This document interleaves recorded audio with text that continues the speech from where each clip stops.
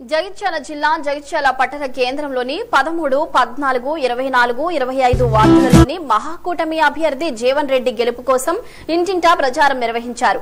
ఈ సందర్భంగా మహాకూటమి నాయకులు మాట్లాడుతూ కేసీఆర్ ప్రభుత్వం చేసిన హామీలు తీర్చలేక నాలుగు సంవత్సరాల రెండు నెలల కాల పరి- పరిపాలించి చేత.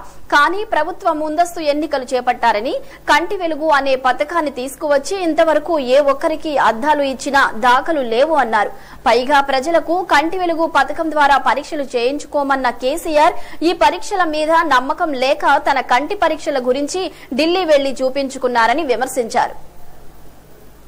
జగిత్యాల అభివృద్ధిలో పాలు పంచుకోవాలని చెప్పి అందరికి కూడా మరొకసారి కృతజ్ఞతలు ధన్యవాదాలు. జగిత్యాల పట్టణం లోపల మహాకూటమి అభ్యర్థిని గెలిపించాలని చెప్పని తెలుగుదేశం పార్టీ తర్వాత టీజేఎస్ సిపిఐ పార్టీ అందరం కలిసి కూడా ముగ్గుమ్మడిగా ప్రచారం నిర్వహిస్తూ మరి ఉమ్మడి మేనిఫెస్టో లోపల ప్రకటించినటువంటి యొక్క పథకాలను ప్రజలకు వివరిస్తూ మరి వాటి యొక్క నైపుణ్యాలను అందరికీ చెప్పడం జరుగుతుంది.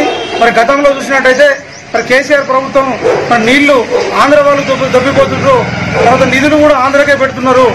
నియామకాలు కూడా సెక్రటరీ కూడా పోతే అంతా ఆంధ్ర వాళ్ళే కనబడుతున్నారు. నీళ్ళు నిధులు నియామకాలు అంతా ఆంధ్ర వాళ్ళే అని చెప్పని అప్పుడు ఉద్యమ సమయంలో కూడా ఇక్కడ ఉన్న ప్రజలను రెచ్చగొట్టి మరి ఇక్కడ ఉన్న వాళ్ళందరినీ కూడా మోసం చేసిన ఘనత కేసీఆర్ అని చెప్పని మేము స్పష్టంగా తెలియజేస్తున్నాము.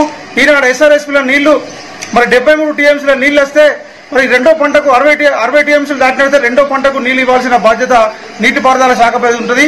దాని మీద ఏంటంటే మిట్ మానేరు నింపుకొని మన నీళ్ళను దోసుకోబోతున్న వ్యక్తి కేసీఆర్ అని చెప్పని సుస్పష్టంగా ఇక్కడ ఉన్న ప్రాంత ప్రజలకు కూడా తెలియజేస్తున్నాం ఎందుకంటే మొదటి మది మాది.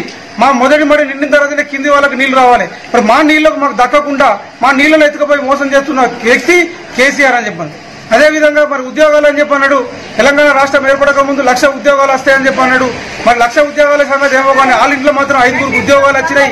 మరి ఎవరికి కూడా ఉద్యోగాలు ఇవ్వలేదు అదేవిధంగా డెవలప్మెంట్ చూసినట్టయితే అప్పుడు అందరికీ ఏం చెప్పిండు? ఆంధ్ర వైపే డెవలప్మెంట్ అవుతుంది మన దగ్గర డెవలప్మెంట్ అని చెప్పాడు. ఇక్కడ తెలంగాణ రాష్ట్రం వచ్చిన తర్వాత సిద్దిపేట సిరిసిల్ల గజ్వేల్ డెవలప్మెంట్ అవుతుంది. తెలంగాణలో ఎక్కడ కూడా డెవలప్మెంట్ అనేది కనబడతలేదు. కేవలం వీళ్ళ ప్రకటనలు తప్ప. ఇలా కంటి వెలుగు ప్రోగ్రాం తీసుకున్నాడు. కంటి వెలుగు లోపల ఉన్న అందరూ కూడా మనం ప్రజానికానికి కంటి చూపు తెస్తామని చెప్పాను తనకు కంటి చూపు జబ్బు వస్తే ఢిల్లీ పోయి ఉంచుకున్నాడు తప్ప ఇక్కడ పథకాలపై ఇక్కడ డాక్టర్లపై ఇక్కడ ప్రజలపై ఆయనకు నమ్మకం లేదు. ఆయన పూర్తి మోసపూరిత ప్రజలను ప్రకటనలను ప్రజలకు వివరిస్తూ ప్రచారాన్ని కొనసాగిస్తున్నాము.